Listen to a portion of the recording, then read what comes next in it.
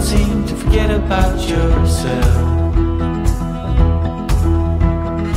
Wondering how it could go so wrong, but you didn't call for help. But let me tell you about the trees and the seas, how it's all connected. The flowers and the birds and bees, and all the lights, yeah, we're all affected. Watching, pray, pray, pray.